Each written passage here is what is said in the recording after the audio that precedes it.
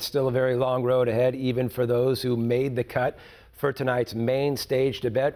Debate that is, while Trump keeps his hold on the top spot, mid tier candidates are doing what they can to make a splash heading into the early voting primaries. I want to bring in one America's Ryan Hoefle, who joins us in studio with analysis of two candidates looking for their big bump in the polls tonight. Ryan?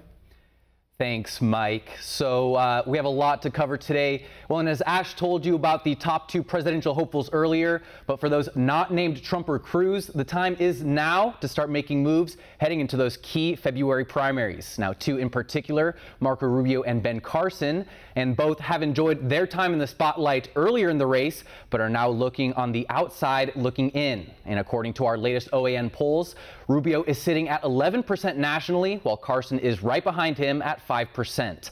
And Rubio's biggest moment tonight might have been when he discussed the likely Democratic nominee. Take a listen. It wouldn't just be a disaster. Hillary Clinton is disqualified from being commander in chief of the United States. Someone Someone who cannot handle intelligence information appropriately cannot be commander in chief, and someone who lies to the families of those four victims in Benghazi can never be president of the United States. The Rubio camp will be looking for more of this as they look to go toe to toe with the bigger names who are higher up in the polls. Uh, Ryan, just over two weeks out, we are already starting uh, to see a few interesting primary storylines forming right now. Do you think either of these candidates have a real shot at taking home the GOP nomination? You know, well, Mike, it, it might be hard to imagine right now anybody else other than Donald Trump at the top spot right now, but don't rule out any other candidates until after the primaries are said and done. You know, I can see Rubio's camp, you know, they may be setting up for the long haul since he hasn't spent too much time in New Hampshire or Iowa. And uh, Carson, on the other hand, may be looking to go a little bit more all in, to borrow a poker term, because uh, he wants to push all his chips in the middle of the table in February because he's hoping to steal some of those headlines in the key early voting states. Though with a new staff in place, uh, he may choose to play it safe after just taking the wheel of the retired neurosurgeons campaign.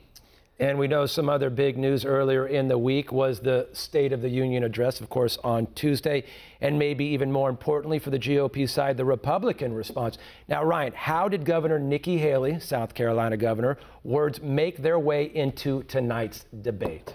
And while Mike, Governor Haley was handpicked by new House Speaker Paul Ryan to give that Republican address as the party looks for a positive voice heading into this important election year. She said Americans have the chance to change the direction America is heading after seven years of failed White House policies that have hurt Americans across the board. Take a listen. Many Americans are still feeling the squeeze of an economy too weak to raise income levels.